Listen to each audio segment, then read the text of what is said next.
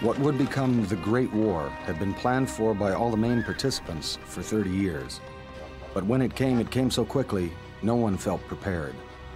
It was as though something long anticipated and even hoped for had gotten out of hand before it even began. The reason for this, all agreed, could be summed up in one word mobilization. Each country knew the mobilization schedule of all the others, how long it would take each army to be ready to march. To be mobilized one day too late was to be a day behind, with potentially disastrous consequences.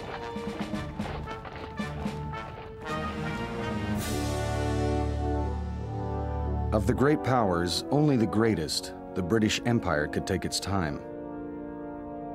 That was the luxury afforded by the Royal Navy, to make Britain impregnable until it was ready to fight.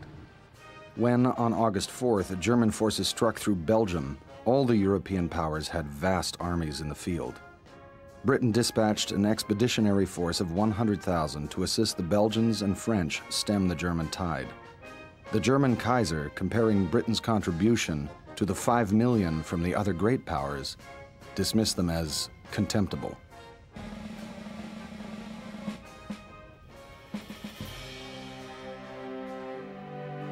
When the Austrian Archduke Ferdinand and his wife were assassinated in Sarajevo, the news had little impact in Canada. The day following the assassination, Prime Minister Robert Borden traveled to Halifax to visit his mother for a few days before moving on to Muskoka for a much welcome summer vacation. When Austria held Serbia accountable for the assassination and shelled the capital of Belgrade on July 28th, Russia began mobilizing to defend its ally, Serbia. The Germans, allied with Austria, stood ready to attack Russia, which evoked its alliance with France. Germany remained confident they could win a war on two fronts, against Russia in the east and the real prize, France, in the west. In Ottawa, Sam Hughes, Canada's Minister of Militia, had been anxiously awaiting the British response to Germany's declaration of war against France and Russia. England is going to skunk it. I seem to be looking for an excuse to get out of helping France. Oh, what a shameful state of things. By God, I don't want to be a Britisher under such conditions. To think that they would want to go back on France. Sam Hughes. On August 3rd, disgusted by Britain's hesitancy to enter the fray even though Belgium had been invaded, Hughes ordered the Union Jack to be taken down over militia headquarters.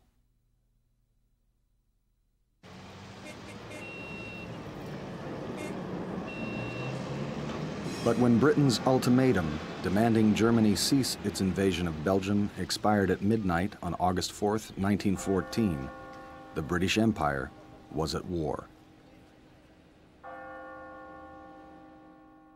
Although the events of the past few days had quite prepared us for this result, it came at last as a shock. It was difficult to retain one's balance in the unexpected and bewildering environment that enveloped us in what had seemed but a moment. Robert Borden, Prime Minister.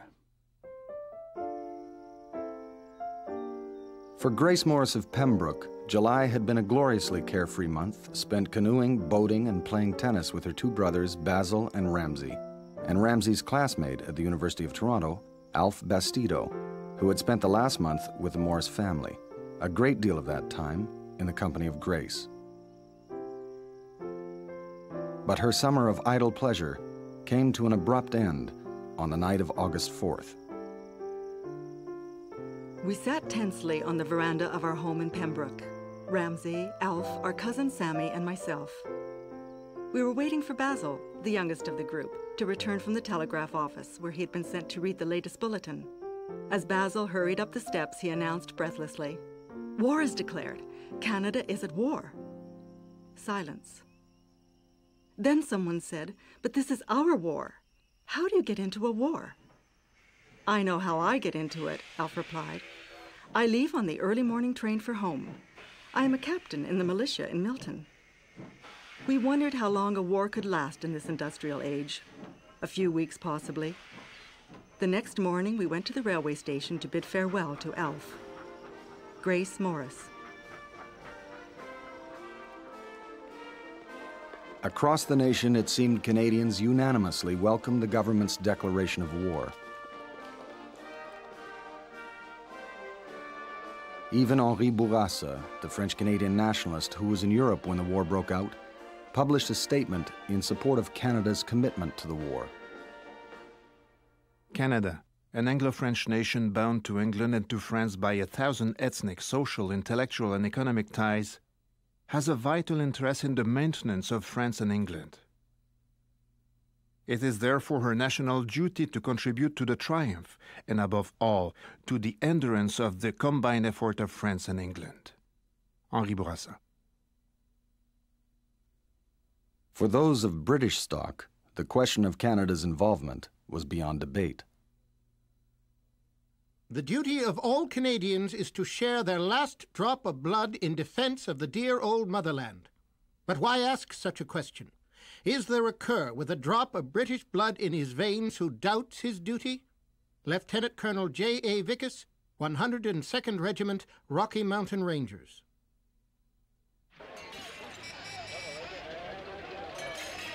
Though newspapers such as the Calgary Daily Herald preached caution and moderation, Incidents of anti-German hysteria erupted throughout the country. In Regina, rioters set fire to nine buildings known to be owned by Germans. In Vancouver, a mob attacked the German consulate. And in Berlin, Ontario, where two-thirds of the population were of German descent, vandals tore down a statue of Kaiser Wilhelm and tossed it into a lake. But Canadians' passion for Britain's cause could not disguise the fact that we had, militarily speaking, little to offer. The job of correcting that state of affairs fell to Sam Hughes, who was, at least in his own eyes, almost uniquely qualified to carry it out.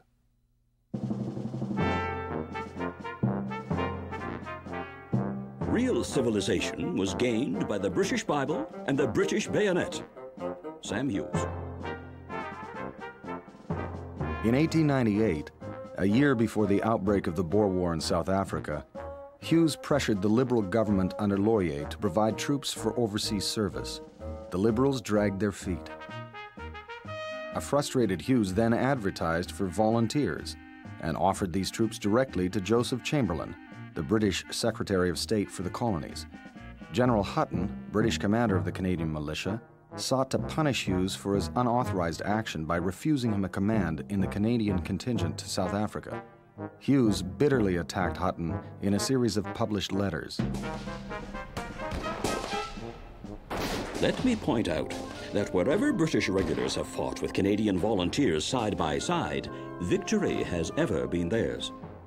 Wherever disaster occurred in the War of 1812, there were no Canadians. Sam Hughes. Hutton replied, I should fail in my duty if I recommend the employment of an officer, however well-intentioned, whom I now know and whose correspondence shows to be not only devoid of any proper spirit of subordination, but to be also deficient in military judgment. General Edward Hutton. And Hughes was out. Fearing that he might miss the grand adventure altogether, a desperate Hughes apologized to Hutton. Poor Hughes is almost heartbroken and has been to see me twice, full of tears and contrition. The struggle is over. General Edward Hutton. Hutton allowed Hughes to accompany the troops, but only as a civilian.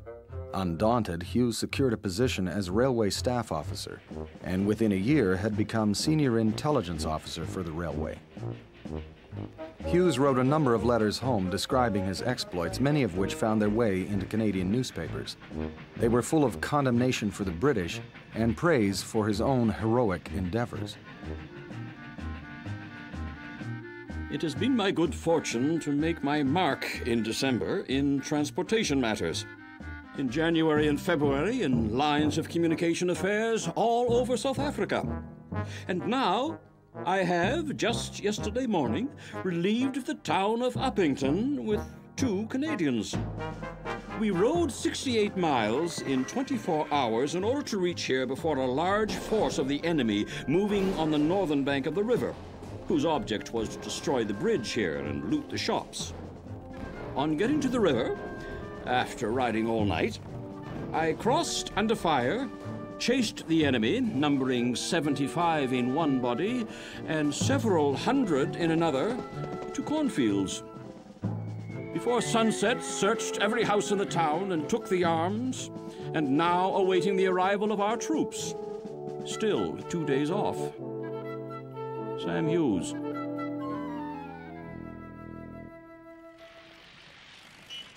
With the publication of these letters, the press sheepishly dropped their vilification of Hutton and turned on Hughes.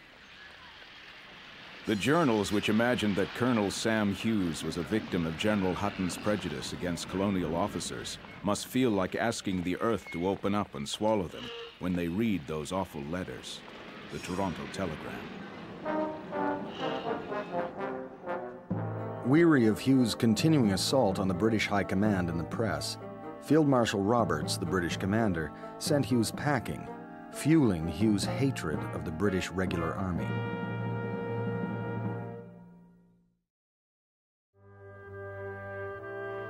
Imperialism and imperialist are words we hear in constant use in public and private, though frequently those who use them have but a faint conception of their actual meaning.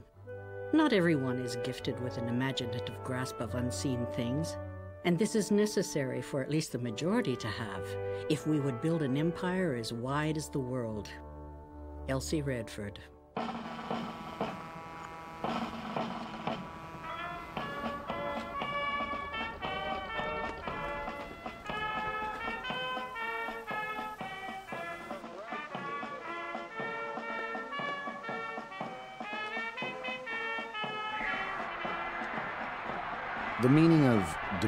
Status within the British Empire, which also included colonies, dependencies, and protectorates, was perfectly clear for the first 40 years of Canada's existence. It meant independence except for defense. In other words, foreign and military policy. We sense that there is a vague something moving abroad and gradually working its way into the minds of men up and down the earth. And that something is the spirit of imperialism. It is fastening itself upon their intelligence in a way that augurs well, for it's crystallizing into form and action. Elsie Reford. Elsie Reford's vague something received a lot of positive reinforcement. We were encouraged to believe that the British Empire was something very special, which had practically been guided by God. We sang, We hold a vaster empire than has been. Nigh half the race of man is subject to our king. Nigh half the world is his in Fife, where he rules all are free. Or something like that. We had to memorize these things. Keith Fallis. Sam Hughes had little difficulty separating his deep dislike and mistrust of the British military from an ardent support of imperial unity a term he invented and then proceeded to define in a speech to the Canadian militia in 1913. To make the youth of Canada self controlled, erect, decent, and patriotic through military and physical training. To give that final touch of imperial unity and crown the arch of responsible government by an imperial parliament dealing with imperial affairs. Sam Hughes. In other words, Hughes' imperial vision saw himself as Canada's representative at the very center of imperial planning, speaking for Britons abroad. An ardent Orangeman, his definition of empire included religion as well as race and nationality. In 1914, he issued an order that militia regiments in Quebec would no longer be permitted to march in parades to mark Catholic holidays. His view of the nature of a new kind of Canadian army went hand in hand with his romantic notions of an imperial parliament, which did not exist, and which few but he had proposed. The Canadian colonies can be completely ignored so far as concerns any European theater of war. General Friedrich von Bernhardi, German General Staff. After he had toured Canada in 1910 as Inspector General, Sir John French, who would lead the British Expeditionary Force in France, evaluated the effectiveness of Canada's militia should war come. At present, it would not be possible to put the militia into the field in a condition to undertake active operations until after the elapse of a considerable period. Sir John French, Inspector General. Sam Hughes had been appointed in 1911 to remedy the situation. But by August 1914, the permanent force numbered only 3,110, all ranks, and the Navy 393. The militia, scorned by Sir John French, numbered 64,000. Germany, an autocracy backed by strong military power, required every physically fit male to train for military service, for which they would remain liable to age 45. Between August 6th and August 16th, 1914, more than 3 million German soldiers moved to the front in 11,000 trains. Sam Hughes' first act was to drop mobilization plans drawn up only three years earlier, opting, as he told Parliament, for improvisation. Really a call to arms, like the fiery cross passing through the Highlands of Scotland or the mountains of Ireland in former days. Sam Hughes. He sent 296 night telegrams to the colonels of the militia, encouraged, no doubt, by the fine sentiments many of them had expressed in a survey conducted by the Montreal Star. As for myself and the Rangers, we are ready. Just let Colonel Sam give the word. Lieutenant Colonel J.A. Vickus, 102nd Regiment, Rocky Mountain Rangers. We share the Empire's protection and should gladly share her dangers. Lieutenant Colonel M.S. Mercer, Queen's Own Rifles. There is only one option. Not only Canadians, but every British subject should rally around the flag and perpetuate the glorious traditions of the Empire. Lieutenant Colonel James W. Woods, Governor General's Horse Guard.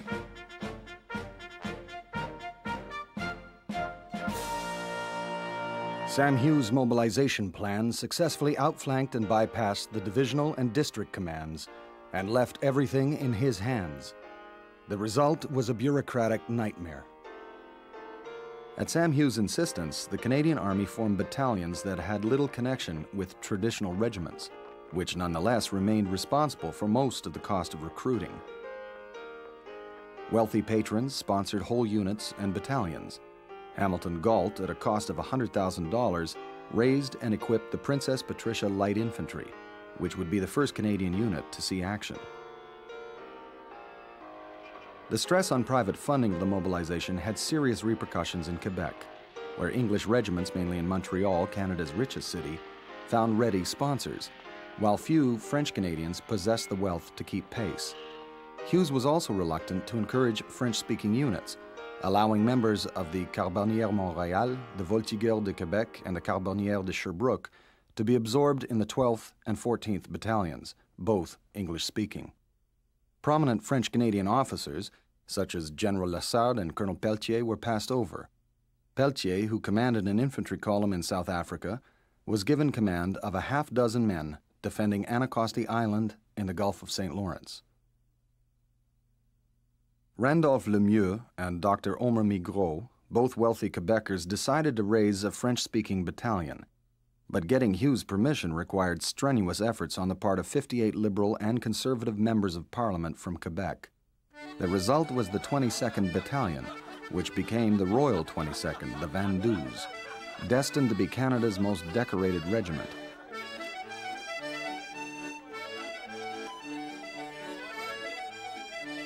Hughes' mobilization violated the provisions of the Militia Act, which since Confederation had maintained a balance of French and English units.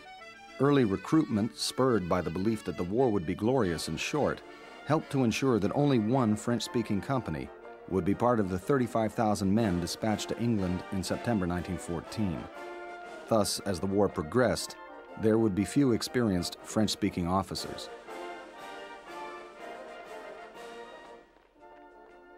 On August 7, 1914, La Presse, the largest French daily, made an impractical suggestion, which provides evidence of just how negative the effect of the imperial connection was.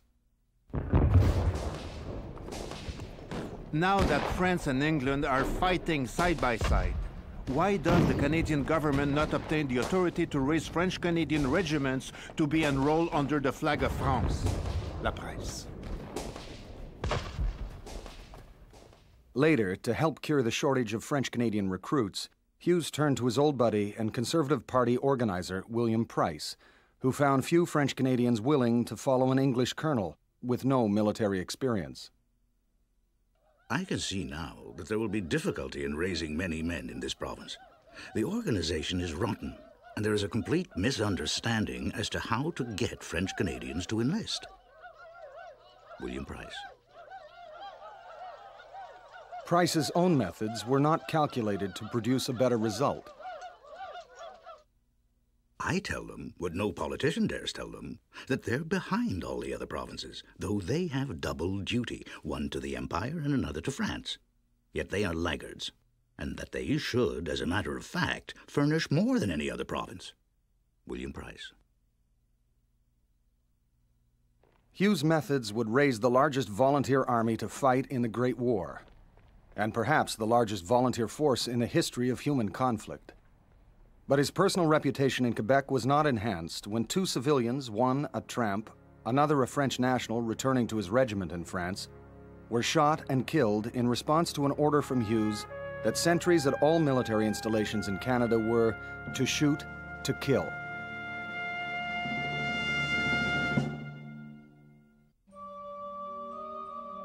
These two words, fight and pray, will they mix? Yes, perfectly. There is no more sin in fight than pray. It is equally right to fight or pray when right is in peril. The Presbyterian Record, October 1914. My husband was too old, so during the war, we helped mostly with recruiting. We thought it was quite the right thing for the church to help. My husband's Sunday school class were in their teens. Most of them enlisted. We'd invite them to our house to have some music, one of the boys had a drum, some of the other boys played, and we encouraged them to enlist and be good boys, very good boys. We urged them on. I can never forgive myself. Mrs. Lorna Browning, Arden, Ontario.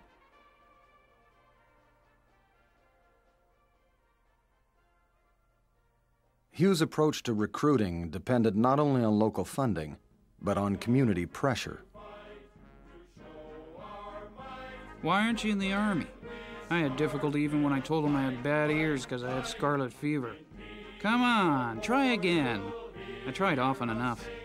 They pressure the life out of you. It's hell. Martin Colby.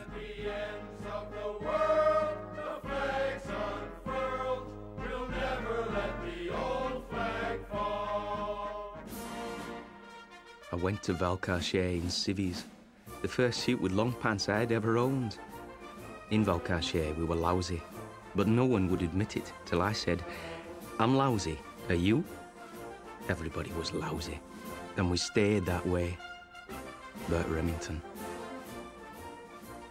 Between August 1914 and April 1915, 95,000 men enlisted, as many as the Army could absorb. Hughes, starting from scratch, established a camp at Valcartier, both as a training center and staging area. Valcartier Camp was located at the juncture of the Jacques Cartier River and the St. Lawrence above Quebec City, a site which also netted the agent who purchased the land in his own name, a healthy commission, and the rank of honorary lieutenant colonel. Hughes handed the chore of building the camp to William Price, who spread the work amongst local conservative contractors. It took 400 workmen 30 days to complete the task, which included installing sewers, water mains, electrical power, railway lines, and three miles of rifle ranges, with the first troops arriving in the midst of construction. Burt Remington, who was brought to Canada by his parents in 1910, was among the first to arrive. We never had any training. I went with an advance guard in September, and there was nothing but field and bush. And we said, But where's the camp? And they said, You're going to make camp. And that was the beginning of Valcartier.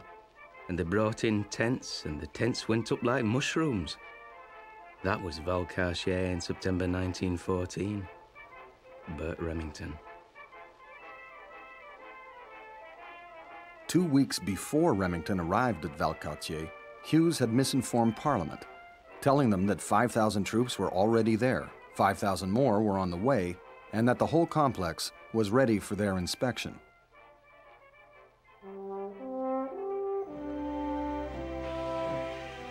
Rolling to Valcartier. Here was a gathering of the clans. As a hundred trains converged on Valcartier from every corner of Canada, men obtained a new impression of the vastness and breadth of their own land. Here was a country with towering mountain ranges, with prairies two days long, with a sweep of rivers that mingled their sources and flowed into three oceans of the Western world. Simon Graves. By September 8th, 32,665 men had arrived in Valcartier, surpassing Hughes' estimate of 25,000. The composition of the first contingent was 30% Canadian born, 65% British born, and 5% other. Valcartier was Hughes' own mini empire. He would arrive in his private railway car named Roline, in honor of his two daughters, Roby and Aileen. The dominating spirit was General Hughes, who rode about with his aides in great splendor like Napoleon. To me, it seemed that his personality and despotic rule hung like a dark shadow over the camp. Canon Frederick Scott. There was no matter so trivial that it did not warrant Hughes' unwelcome interference. Officers became frequent targets for Hughes' random abuse, as likely to find themselves demoted as promoted on the spot. I want men for action. Action, that is the word. I want cool headed men because it is a terrible responsibility. Incompetent officers are worse than baggage. Sam Hughes.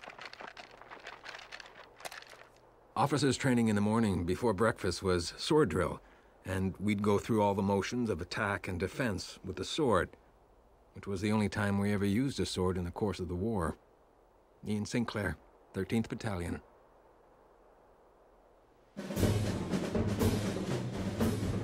There was some useful training for small arms by drill and route marches, but remembrance of South Africa was strong in the ministerial mind. Rifle ranges three miles long were constructed each recruit was expected to aim and discharge his weapon 35 times. The Germans had made the discovery that a recruit never hits the object at which he aims, and their troops were taught to fire as they advanced, without aiming, in the hope that they might hit something. But at Valcartier, military training in a general sense was negligible. Dr. Andrew MacPhail. A final review of the troops about to depart for Europe took place on September 20th, less than seven weeks after Britain declared war. Among the 9,500 civilians who attended were Prime Minister Borden and his wife. Hughes had just been given the good news from Borden that all 33,000 volunteers would be going overseas with the first contingent, thus releasing him from the painful process of deciding who would go and who would stay. He was silent for a moment, and then he suddenly broke down and sobbed audibly. He presently explained his emotions as joy and relief. He had been, he told me, agonized by the thought of a selection for which he would be responsible, and which he must determine. In reviewing his character and actions, allowances must always be made for his extremely emotional temperament. Robert Borden, Prime Minister.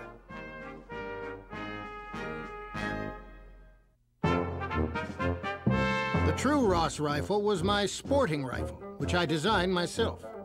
The military rifles turned out at my factory were an official arm over whose structure I had no control.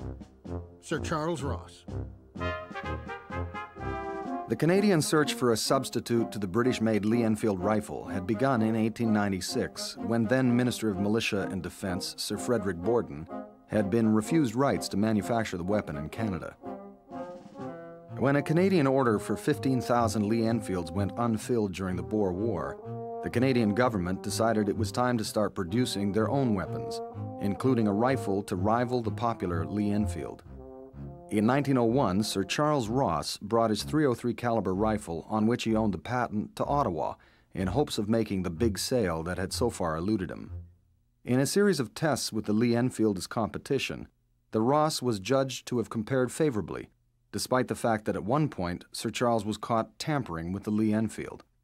But in one crucial area, the Ross failed ominously, demonstrating a tendency to jam after repeated firings. Despite these findings, the committee unanimously endorsed the Ross rifle, and a factory was built at Quebec City for its manufacture. The British were outraged. The Ross rifle was intended to be lighter and cheaper than the Lee Enfield, but emerged from 80 design changes longer, heavier, and more expensive. I made for the Canadian government, as I was bound to under my 1902 contract, rifles, according to a standard set and frequently changed by the militia department. Sir Charles Ross. Sam Hughes was the great champion of the Ross rifle, calling it the most perfect rifle in every sense in the world today.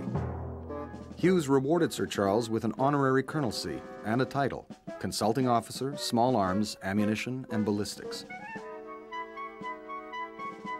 Ignoring the fact that the Ross Rifle Factory in Quebec City was having trouble keeping up with orders even before the war began, Sam Hughes placed an order with them for 30,000 rifles plus 30,000 bayonets, complete with scabbards.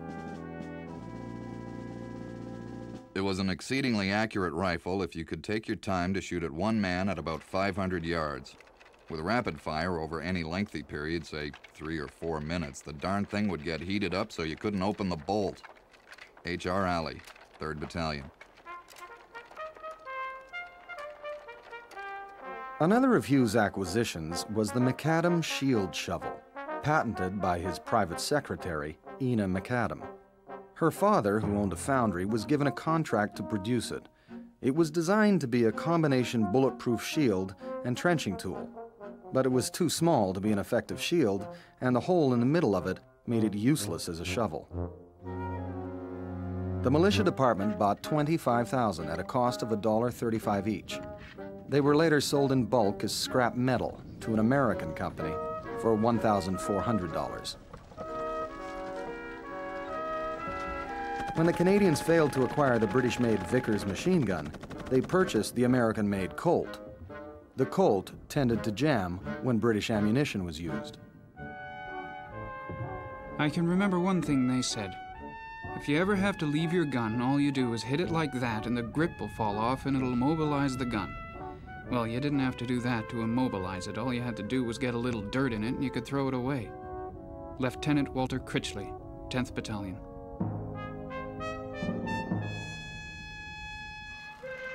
Behind the manufacture of the Ross rifle and other military hardware was the wish to ensure that Canada would receive the industrial benefits resulting from war production.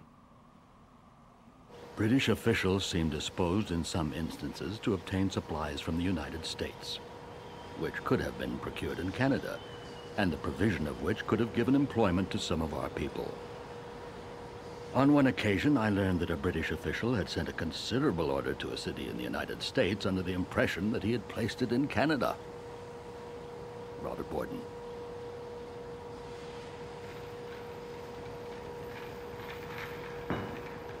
When Lord Kitchener asked if Hughes could obtain a quantity of 18-pound artillery shells from the Americans, Hughes seized the opportunity and established the Shell Committee to encourage Canadian manufacturers to produce ammunition.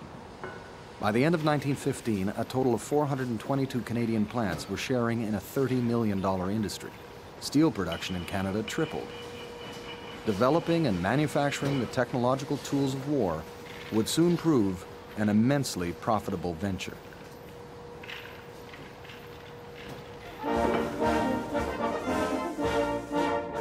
No one who witnessed the departure of the Canadian troops from Valcartier camp will ever forget the sight. The march was some 18 miles by road to Quebec. Women and children came to the doors to cheer them as they passed. The Manitoba Free Press.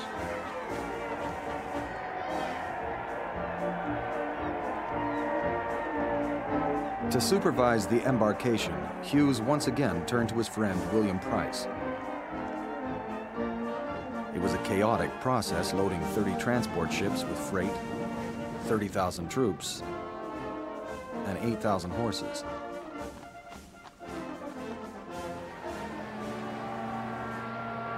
Aboard the flagship Franconia were 101 Canadian nursing sisters traveling as part of the Canadian Army Medical Corps.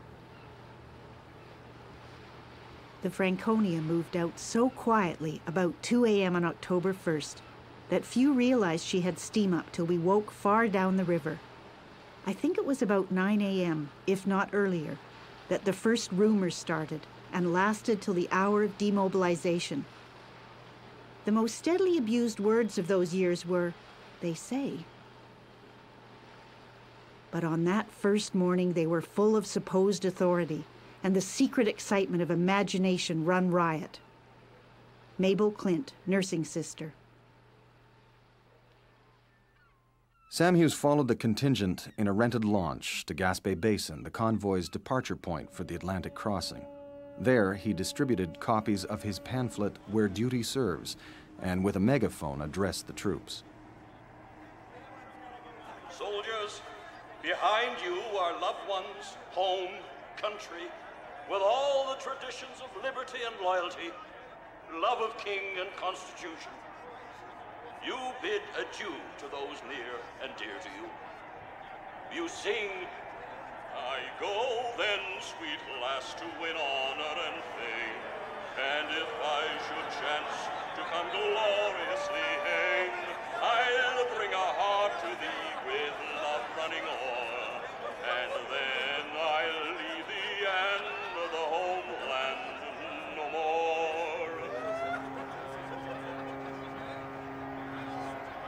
Hughes' speech and song were met with a chorus of catcalls, and even the Prime Minister drew some satisfaction from the incident. Hughes delivered a flamboyant and grandiloquent address to the troops, based apparently on Napoleon's famous address to the Army of Italy. It did not enhance its prestige, and indeed excited no little mirth in various quarters. Robert Borden. They too had a song for Sam. We are Sam Hughes's army, 30,000 men are we. We cannot fight, we cannot march, what bloody good are we?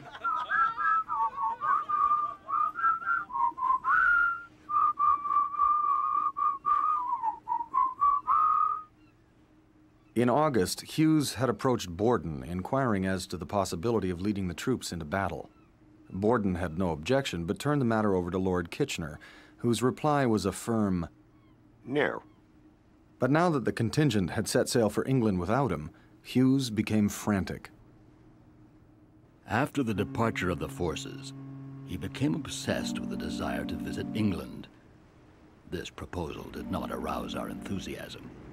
Finally, we consented, but not before I had given him warning that he must control his temperament and have no friction with the authorities on the other side. Robert Borden.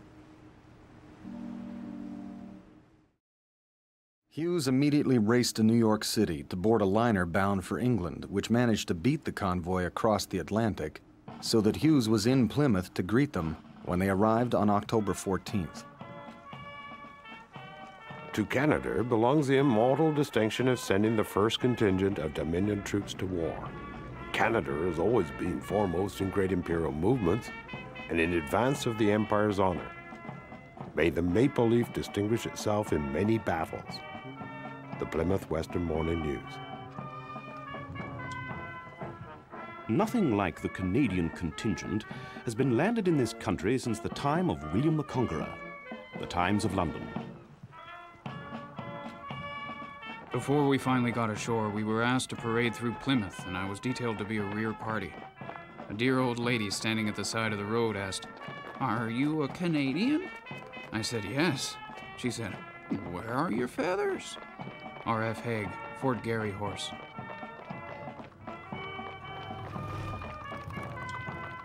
Upon hearing that the Canadian contingent had crossed the Atlantic aboard 30 ships, Kaiser Wilhelm of Germany replied, Die kommen in 30 Ruderbooten wieder zurück. They will go back in 30 rowboats. Kaiser Wilhelm.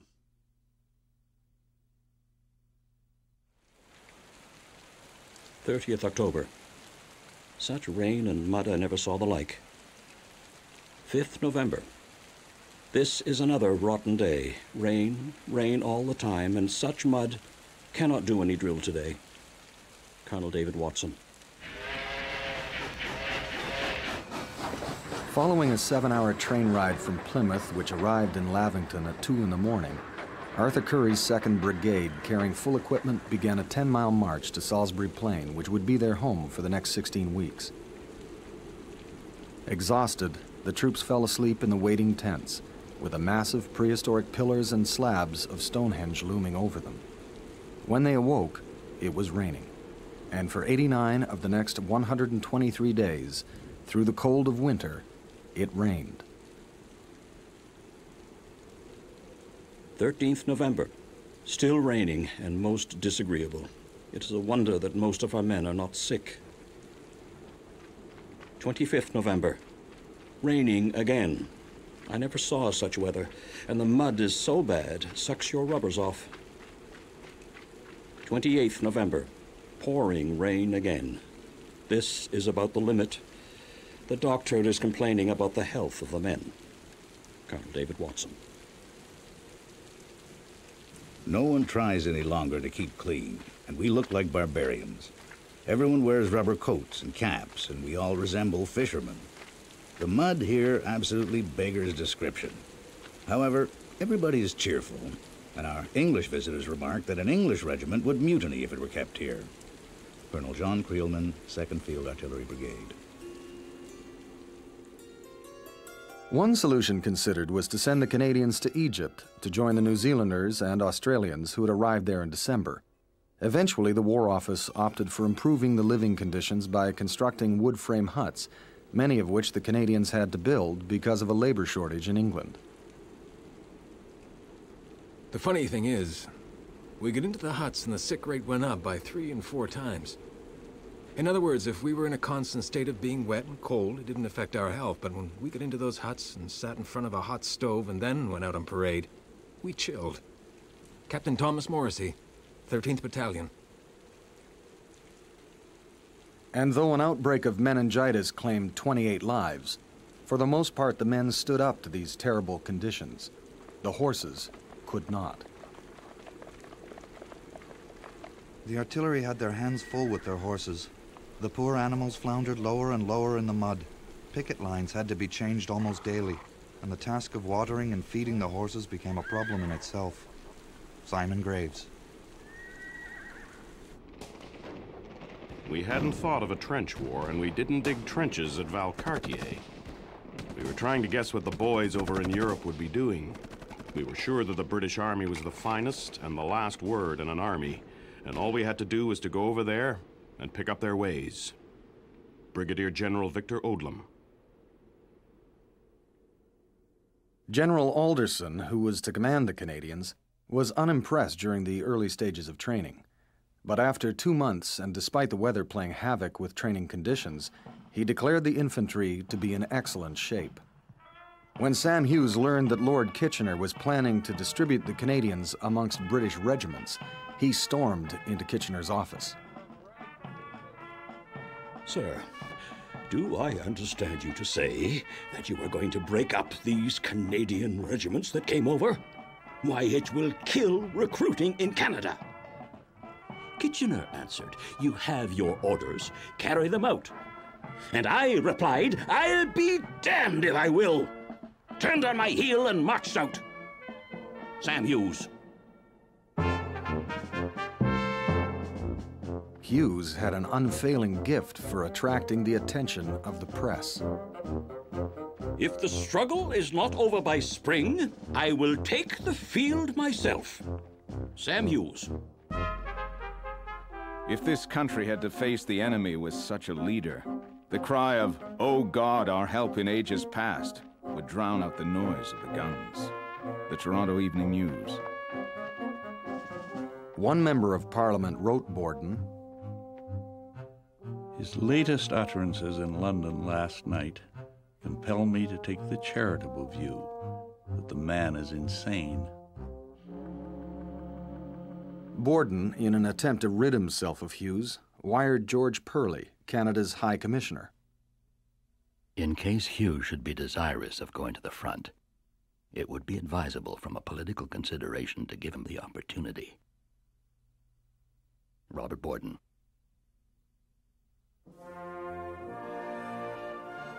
On February 4, 1915, King George inspected the troops, a sure sign that a departure was imminent. At the beginning of November, I had the pleasure of welcoming to the mother country this fine contingent from the Dominion of Canada. And now, after three months' training, I bid you Godspeed on your way to assist my army in the field.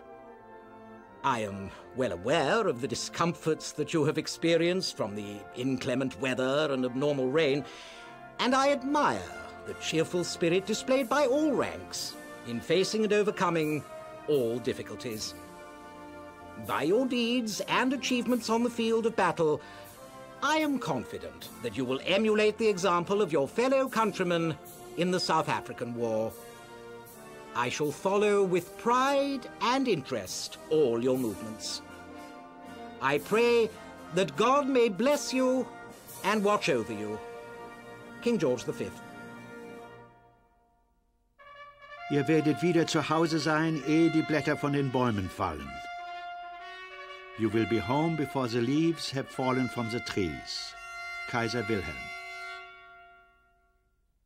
The Canadians were about to join a war that was everybody's making and nobody's choosing. The prevailing attitude among the European powers was that the war would be short and would end quickly and decisively. One dissenting viewpoint was expressed to the Kaiser as early as 1905 by General Helmut von Moltke, who would lead the German assault in the West.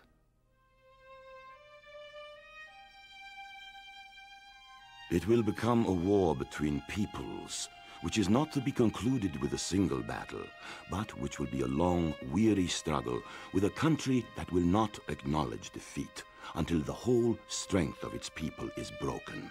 A war that even if we should be the victors, will push our own people to the limits of exhaustion. General von Moltke. The German blueprint for victory, the Schlieffen Plan, named after the strategist who had created it, called for a large force invasion through Belgium and into northern France, outflanking French forces north and east of Paris. The German offensive was, at first, an apparent success, as German forces swept through most of Belgium and far into France. But von Moltke was uneasy. Don't let's deceive ourselves. The victor should have prisoners. Where are our prisoners? General von Moltke. The general then made a critical deviation from the Schlieffen Plan. He pulled his right-hand troops east of Paris, leaving his flank vulnerable to attack by the French and British. On September 7th, the Allies counterattacked the Germans at the River Marne, forcing them to retreat. The massive German assault had violated the neutrality of Belgium, guaranteed by all major European powers when that nation was created in 1839. The German offensive had failed because of the stubborn defense of the Belgians, the fighting retreat of Britain's small but growing army, but chiefly because of the remarkable recovery of the French at the Marne.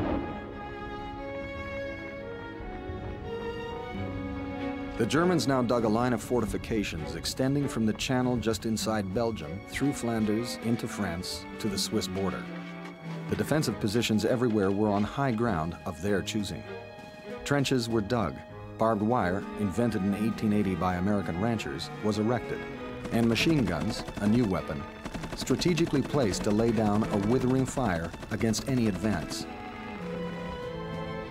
Aircraft, used for the first time in war, made surprise all but impossible. The German grand strategy was to wait behind these positions until Russia was defeated. The push to Paris would then be resumed with the armies from the east giving them numerical superiority.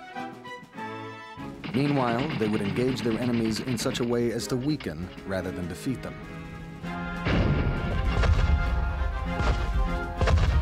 As decreed by the famous 18th century military strategist Karl von Clausewitz, the decisive weapon would be massed artillery, which would create a killing ground within which, in Clausewitz's words, the enemy must advance and seek his own destruction.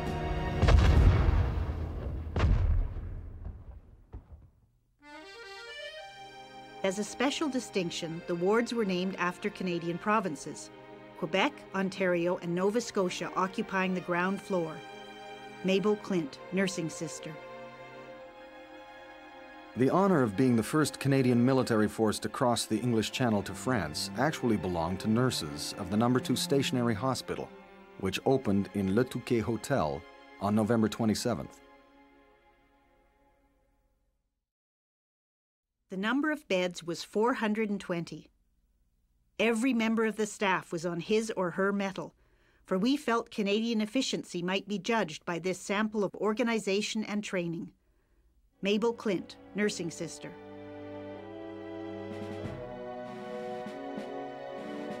But the first Canadians to reach the front were the Princess Patricia's Light Infantry, composed almost entirely of British-born veterans. They landed in France on December 21st and joined the British 27th Division. In mid-February, 19 ships conveying Canadian troops departed from Avonmouth on the west coast of England destined for Saint-Nazaire on the mouth of the Loire. The trip should have taken 36 hours, but because of a severe storm, the crossing lasted a miserable five days. Upon arrival, the sea-weary troops were given a rousing welcome, the first non-regular British division to reach France. Troops boarded trains at Saint-Nazaire for a 43-hour endurance test to the front. Officers traveled in passenger cars up front, while the regular troops were packed in boxcars at the back. The trip ended in French Flanders, where they billeted in the nearby villages and farms. And as foreign as this land seemed to them, one thing remained the same. The mud here is as thick and much stickier than at Salisbury Plains, but nobody minds now. Colonel John Creelman, 2nd Field Artillery Brigade. On March 1st, the Canadians relieved the British near Fleurbaix. British General Edwin Alderson took command of the Canadian 1st Division on March 3rd and addressed his troops, betraying a bias to the defense. My old regiment, the Royal West Kent, has been here since the beginning of the war and it has never lost a trench. The Army says the West Kents never budge. I am proud of the great record of my old regiment and I think it is a good omen.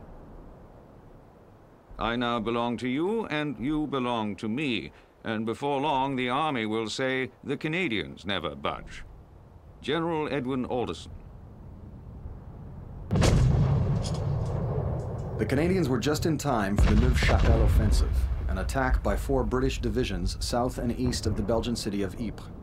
The Canadians, used mostly in a supporting role, nevertheless suffered 278 casualties from German artillery during a quiet period in the line lasting 24 days.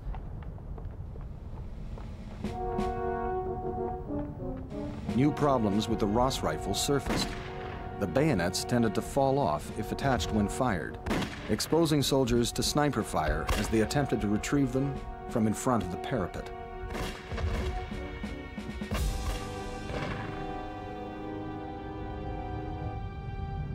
The great bulk of our men got down into the trenches or ditches or anything low because you avoided the bullets by doing that. But you didn't avoid the gas. You took it. And when you saw men suffering, dying with the gas, oh, it was a pitiful thing. I stayed up in the high spots. I would rather have the bullets than the gas. Colonel Victor Odlum.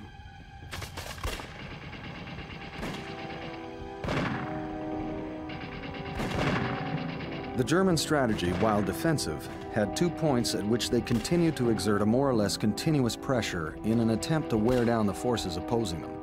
In the south, the position was Verdun, where French General Pétain had decreed, they shall not pass. And in the north, in Belgium, at Ypres, which the British were forced to defend in order to protect the channel ports of Dunkirk and Calais, through which their forces could most directly enter France. More than half the casualties sustained by all the armies engaged in the Western Front would occur at Ypres and Verdun. At Ypres, German attempts at encirclement of the British position created what is called the Ypres salient. Its essential shape was complete by the fall of 1914. The British action at Neuve Chapelle had been designed to enlarge the salient and had failed, with a large cost in men. The Allied defense line slightly north of the village of Saint Julien was flat, muddy, and separated from the Germans by only a few hundred yards. On the left of the Canadians was a French colonial division made up of troops from Algeria. These troops, along with the Canadians, had been chosen to endure the world's first gas attacks, undoubtedly because the Germans had a low opinion of colonial troops. The chlorine gas from 5,000 cylinders was released mainly against the Algerians on April 22nd. The green-yellow curtain, when it reached their lines, choked on contact, killing or incapacitating any of its victims who continued to breathe the gas into their lungs. The Algerians fled, leaving a four-mile gap on the Canadian left. When this gas attack came up, we saw these Algerian fellows running. Really running. Poor fellows. The rifle fire they were good on, but when these big shells, ton and a half shells, were bursting and the gas, that was really too much for them. FC Arnold, 7th Battalion. We weren't equipped with a gas mask. Men were coughing, spitting, and choking, and we didn't know what to do till the MO of the 14th Battalion, Colonel Scrimger, was rushing up and down telling everyone to urinate on your pocket handkerchief.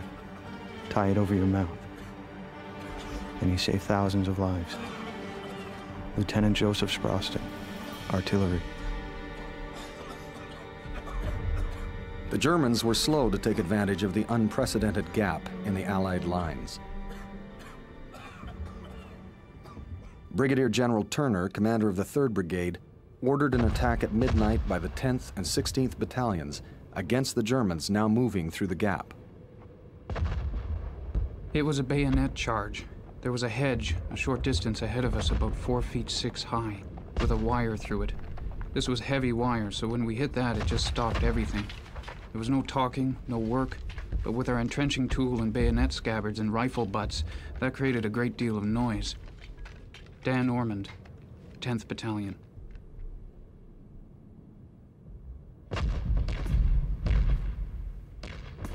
Those sort of noises carry a long way at night. And the next thing we knew, a very light went up that lit up the whole countryside. Then it just opened up, rapid fire with rifles and machine guns, which is pretty ugly. And to green troops, it was an appalling experience. A.M. McClellan, 16th Battalion. But the Canadians pushed on, attacking and finally overwhelming the Germans defending a shallow trench. We had taken the Germans by surprise. They had never thought any army would ever think of doing anything like that. We routed them out of their trenches and recaptured a battery of 18 pounder guns the British had left behind. Lieutenant Walter Critchley, 10th Battalion. By the evening of the 23rd, they had been reduced to company strength. At nightfall, the 3rd Brigade withdrew to stronger ground on the western end of the Gravenstafel Ridge. Though severely bloodied and battered, the Canadians had bought time to close the flank, barring the pathway to Ypres. Der Weltkrieg, official German history of the war, credited the obstinate resistance and tenacious determination of the Canadians with robbing them of victory. Arthur Currie, the commander of the 2nd Brigade, had been in the midst of the fighting, his first direct experience of war. The Allied line had bent, but it had not broken. And along with their contribution in stemming the German advance, the Canadians still held the line which they'd been assigned. On the morning of April 24th, it became the site of the world's second gas attack.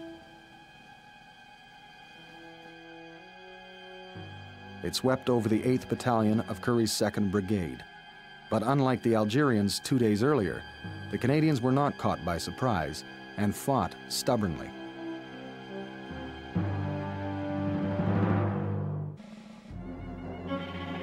I saw the Germans hop over their trenches and put these cans in front. I wondered what they were doing.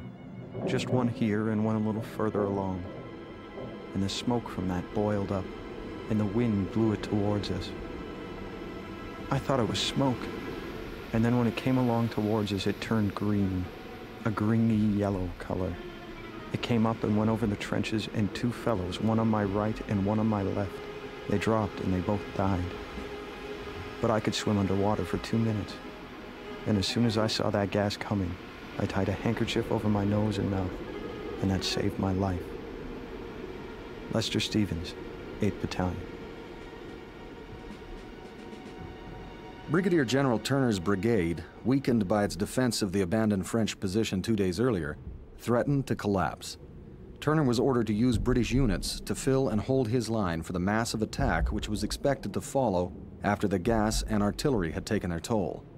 Unfortunately, Turner interpreted the line to mean the secondary line, which lay more than a mile behind his present position. When he pulled out his troops, he left the left flank of Currie's 2nd Brigade exposed. Thinking Currie must have received a similar order, he did not inform him of his intentions. Currie, worried about his collapsing left, sent for reinforcements. When none came, he left his post and went to divisional headquarters to personally fetch reinforcements. While on his mission to HQ, Currie learned that Turner and Brigade Major Garnet Hughes had withdrawn the 3rd Brigade and that his troops were outflanked.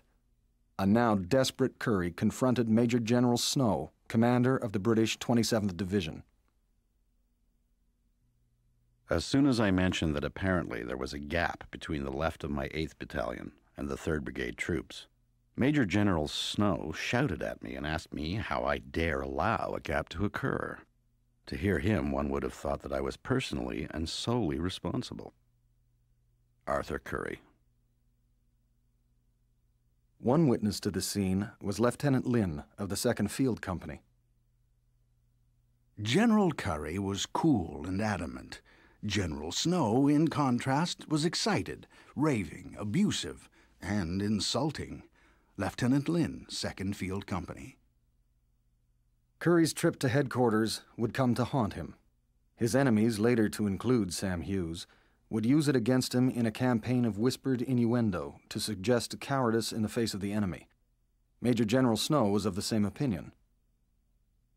If Currie was an English officer, I would have had him put under arrest, and he would probably have been shot. General Thomas Snow.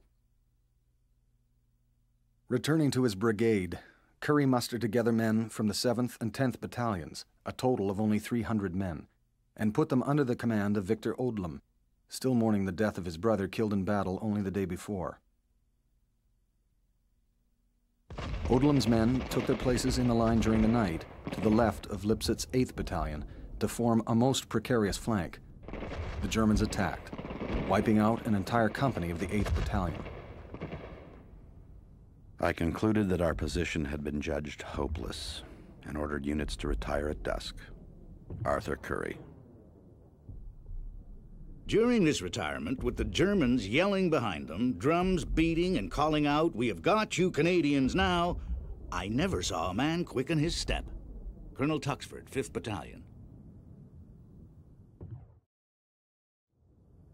Arthur Currie and the Canadians had been in their first battle, and while there were criticisms of Currie, the Canadian infantry had held their ground in the crucial first three days under conditions that were unprecedented and protected the all important left flank of the British position. Their stand against a ghastly new weapon had earned them a special kind of recognition and respect. The Canadian stand at Ypres had relieved gas of its psychological impact. It was now only another of the known horrors of war, and with the introduction of gas masks shortly afterwards, it lost some of its physical impact as well. Sir Basil Liddell Hart, military historian. At Saint Julien, the Canadians would eventually erect a monument to their first battle victory. More than 6,000 casualties were suffered by the Canadians, and one of these casualties, Lieutenant Alex Helmer, killed by a direct hit from an 8 inch shell, had a powerful emotional impact on his friend, a Canadian doctor serving at Ypres, John McCrae. Heavy gunfire this morning. Lieutenant Helmer was killed at the guns. His diary's last words were, It has quieted a little, and I shall try to get a good sleep. I said the committal service over him as well as I could from memory. A soldier's death. Dr. John McCrae, Captain, Medical Corps. The next day, less than a mile from where the Canadian Memorial to the battle still stands, McCrae took a few minutes between treating batches of wounded soldiers to jot down a poem. In Flanders fields the poppies blow, between the crosses, row on row, that mark our place. And in the sky the larks, still bravely singing, fly, scarce heard amid the guns below. We are the dead. Short days ago we lived. Felt dawn, saw sunset glow, loved and were loved. And now we lie in Flanders fields. Take up your quarrel with the foe. To you from failing hands we throw the torch. Be yours to hold it high. If ye break faith with us who die, we shall not sleep, though poppies grow in Flanders fields. It is little wonder, then, that In Flanders Fields has become the poem of the army. The soldiers have learned it with their hearts, which is quite a different thing from committing it to memory. It circulates as a song should circulate, by the living word of mouth, not by printed characters. Dr. Andrew MacPhail. The slaughter of friends and half his brigade at the Second Battle of Ypres had changed McCrae forever. He seldom took leave and insisted on living in tents like the frontline troops, despite his deteriorating health. He would die of pneumonia in January of 1918. For him, the war had to be won. He could not break faith with the dead of Flanders. The message of In Flanders Fields was uncompromising. John F. Prescott. Dear Grace, one sees some rather dreadful sights in this place, which it pays to forget about as quickly as possible, and not to write about at all. So I try to remember only the nice things. I guess we won't have much tennis this year. By the way, I'm getting to be quite a French linguist. I hope to be quite efficient before long, and when I see you again, I'll be quite too much for you. Alfred Bastedo. The news of their heroic stand was received with great pride, and Canadians realized that their country had decisively stepped onto the world stage. Then came the casualty list. Beneath a banner headline, Canada Forever and Forever, were the names of the gallant men who had fallen in battle. In Pembroke, the long list was posted in the window of the telegraph office on Main Street. People stood in the street to read it. There was silence and deep sorrow. At the top of the list was the name Captain Alfred Bastedo, killed in action. Grace Morris. And for some, there was a fear equal to that of their own death. I'm not by nature intrepid, not even quarrelsome enough to make fighting enjoyable. On the contrary, I shrink from the naked disclosure of human passions drunkenness, insanity, hatred, anger. They fill me with a cold horror and dread. But to see a man afraid would be the worst of all. To have to kill a man in whose eyes I saw the wild fear of death would be awful. I almost think I would stop and let the fellow kill me instead. Talbot Papineau.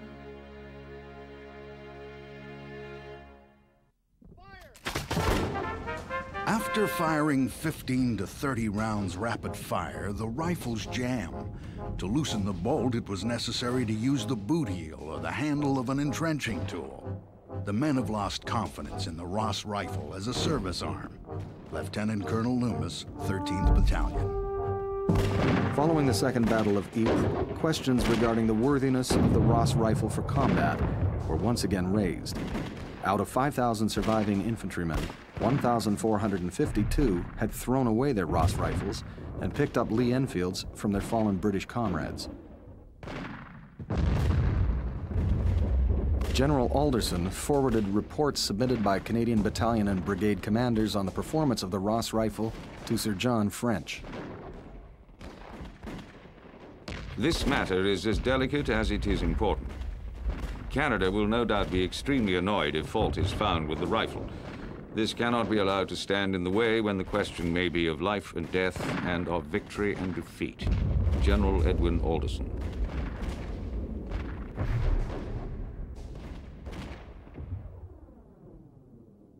French ordered that the 1st Division be rearmed with Lee Enfields, but allowed that the 2nd Division, when it arrived, would keep the Ross rifle, so long as a steady supply of the proper Canadian-made ammunition was available. With the arrival of the 2nd Division overseas, Sam Hughes decided it was time that the Canadians created a separate Canadian Corps, preferably with himself in charge. On Hughes' urging, Sir John French recommended the creation of a Canadian Corps to General Douglas Haig, who would soon replace French as commander of the British Army in France. Haig complied and made General Alderson Corps commander. I think the best return we can make for the splendid service rendered by the Canadian Division is to meet their wishes. Sir John French. Alderson opened Canadian Corps HQ in Bailleul on September 13th, and in a complete vindication of Arthur Currie's actions during the Second Battle of Ypres, placed him in charge of the 1st Division. Sam Hughes received a knighthood on August 24, 1915, after intense lobbying on his behalf from Borden, Max Aitken, and fellow Canadian and future British Prime Minister Bonar Law, the new colonial secretary, but over the objections of the Duke of Connaught, who was already concerned over allegations against Hughes regarding wartime profiteering. Hughes also sought to get his son, Garnet, promoted to brigadier general in command of Currie's old brigade. Hughes' representative in England, Max Aitken, the Canadian who had become a press baron and rose to the peerage as Lord Beaverbrook, leaked it to the papers that Garnet's commission was already a done deal. Alderson was livid at the suggestion that it had been his idea. I am told that it has been published in the Canadian papers that I especially asked for Hughes to be made a brigadier. I do not think this is right or fair. To say that I asked specifically for him is putting me in a very wrong position with several gallant commanding officers who have done real, solid, good work. General Edwin Alderson. Max Aitken warned Alderson that he was putting his position with Sam Hughes at risk, and Alderson was soon replaced as Corps commander. But Alderson was not alone in his low opinion of Garnet Hughes, whose failure to inform Currie of the withdrawal of the 3rd Brigade at Ypres had exposed Currie's left flank to the enemy. Tonight I have 100 stretchers and 150 bearers, and we are going to try and get them out. It is a wonder how any of us escaped, and it will take a couple of days to get the casualties out of the line. Major Agar Adamson, Princess Patricia Light Infantry. At the beginning of June, the Canadian 3rd Division, under General David Mercer, held a two and a half mile line from Hill 60 on the right, across Mount Sorel, Hill 61, Hill 62, through Sanctuary Wood, across the Gap, to the village of Hooge on the left. On June 2, 1916, the Germans unleashed an artillery barrage so savage in its intensity that it blew the Canadian troops right out of their trenches. Four mines exploded under Mount Sorel, added to the devastation. Wave after wave of German infantry advanced, quickly overcoming any resistance. In Sanctuary Wood, the Princess Pats, now part of the Canadian 3rd Division, fought desperately to hold the flank against a determined German attack. We have lost about 480 men, but it is impossible yet to say precisely how many. The only officers now with the regiment are Gray, McPherson, Dunton, Mackenzie, all up to daylight this morning unwounded. The bombardment today has been very heavy, and I fear our casualties will be added to. General Mercer, Victor Williams, McLaren, ADC to Victor and Gooderham, blown up by a mine explosion. Victor was badly wounded at the time. The Germans report having captured a general and staff. It is imagined that this refers to them. I find myself now in command of the regiment, and I don't feel I have the knowledge or physical strength to do this remnant of a regiment justice.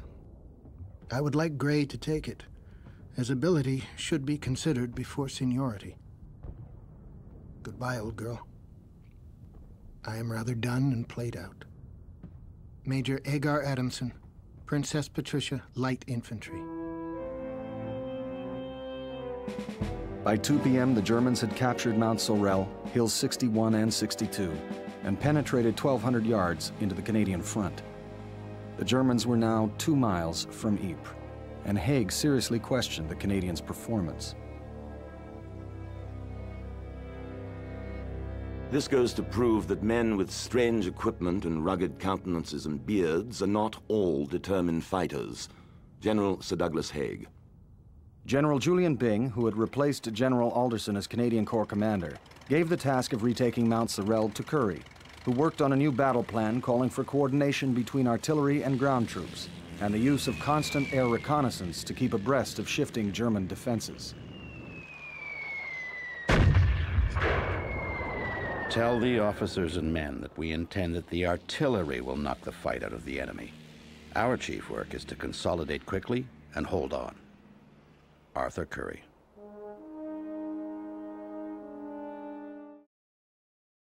We were faced with the woods which had been shelled to pieces, but the stumps were all there and were full of barbed wire. And in driving rain and pitch dark, it would be very easy to lose direction. So I recommended to the CO that we do the thing with the bayonet without any shooting at all. In the first place, we wouldn't be shooting each other, but the great thing would be that if there were rifle flashes, we would know it was the Germans. So we did it that way, with cold steel. H.R. Alley, 3rd Battalion. In an hour, all objectives were in Canadian hands. On the 14th, the enemy mounted two counterattacks, which were quickly repulsed. Though Canadian losses during the 12 days of battle were nearly twice those of the Germans, this first set-piece battle planned and executed by the Canadian Corps had been an enormous success. Currie, in salvaging victory from defeat, had begun to develop his signature strategy of paying the price for victory in shells and not in the lives of his men. And in the aftermath of the battle, a final decision was made to replace the Ross rifle. I carried in three Lee Enfield rifles to the infantry in the front line. It was a Canadian Scottish battalion. And I saw this Kilty up on the firing step, so I said to him, Hey, Jock, you want a Lee Enfield rifle? And he looked down in the half light, unbelieving, grabbed it, picked up his own rifle, waved it around his head, and slung it out to no man's land. A.G. Jacobs, LSHG. In March 1917, the Ross factory was expropriated by the Canadian government, and in October, Sir Charles Ross relinquished his appointment as consulting officer, small arms, ammunition, and ballistics, and along with it, his honorary rank of colonel. The fall of the Ross rifle would mark the beginning of the end for Sam Hughes.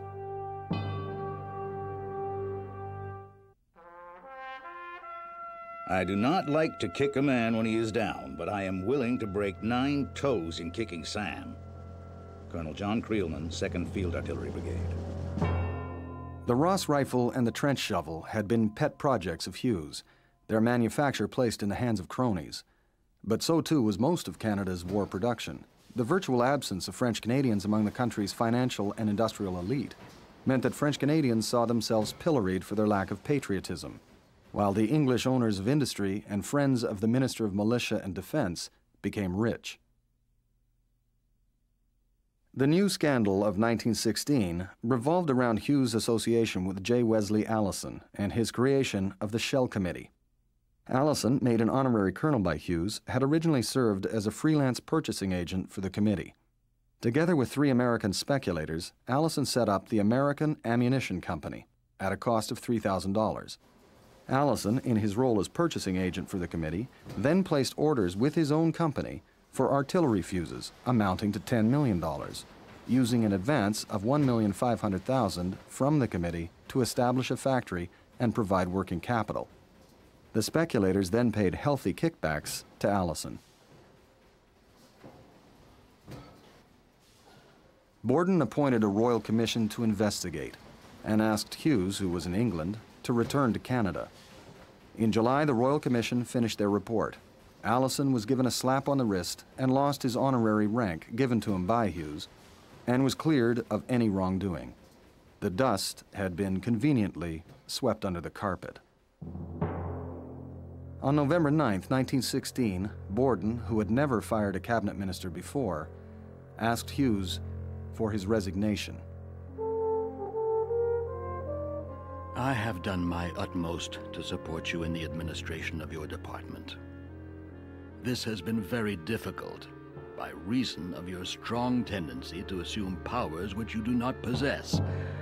My time and energies, although urgently needed for more important duties, have been very frequently employed in removing difficulties thus unnecessarily created. Robert Borden.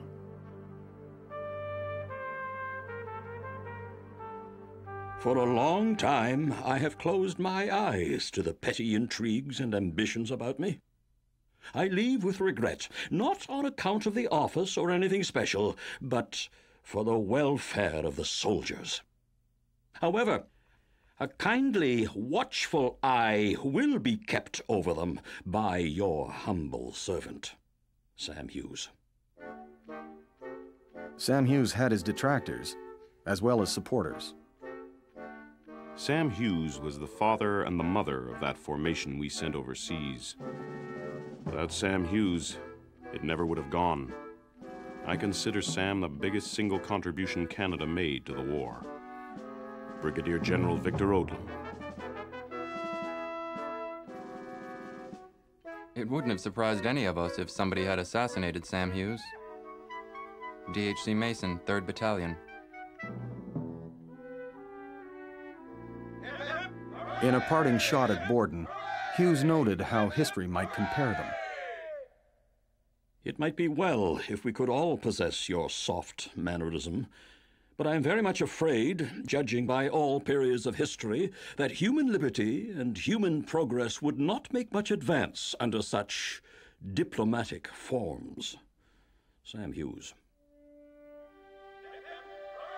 Apart from the creation of the world's largest ever volunteer army, Hughes, on the recommendation of his son Garnet, had plucked Canada's only authentic military genius, Arthur Currie, from retirement to lead a brigade, even though more than once Currie had refused to follow Hughes' orders. True to the manner in which he lived, the last speech that Sam Hughes would ever give in the House of Commons before his death in 1921 was a heartfelt call for a return to the system of patronage.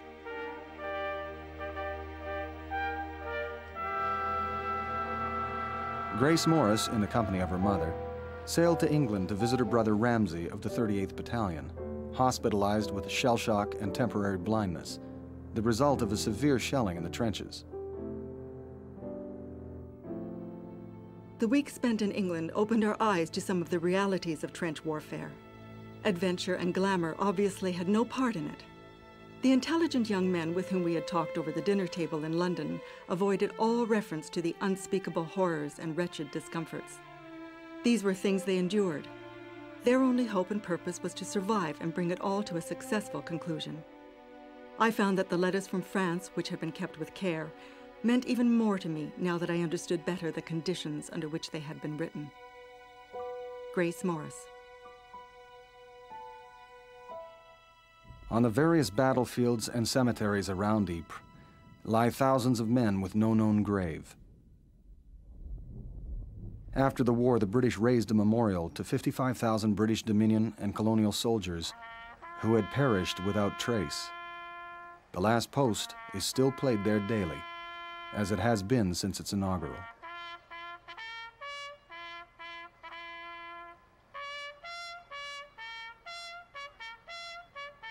British poet Siegfried Sassoon, who had fought at Ypres, saw it as an affront and replied in a poem Who will remember passing through this gate? The unheroic dead who fed the guns? Who will absolve the foulness of their fate, those doomed, conscripted, unvictorious ones? Crudely renewed, the salient holds its own. Paid are its dim defenders by this pomp. Paid with a pile of peace complacent stone, the armies who endured that sullen swamp. Here was the world's worst wound, and here with pride. Their name liveth forever, the gateway claims. Was ever an immolation so belied as these intolerably nameless names? Well might the dead who struggled in the slime rise and deride this sepulchre of crime. Siegfried Sassoon.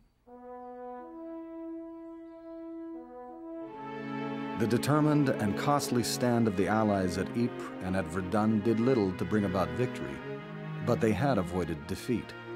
In this most terrible of trials, the Canadians had made a point that perhaps only they could make. There were some who recalled with anxiety the scientific organization and the tireless patience with which Germany had set herself to create the most superb military instrument which the world has ever seen. And they may have been forgiven if they asked themselves, can civilians, however brave and intelligent, be made in a few months the equals of those inspired veterans who were swarming in triumph over the battlefields of Europe? These were formidable questions, and even a bold man might have shrunk from a confident answer. The story of Canada in Flanders would make it unnecessary ever to ask them again. Lord Beaverbrook.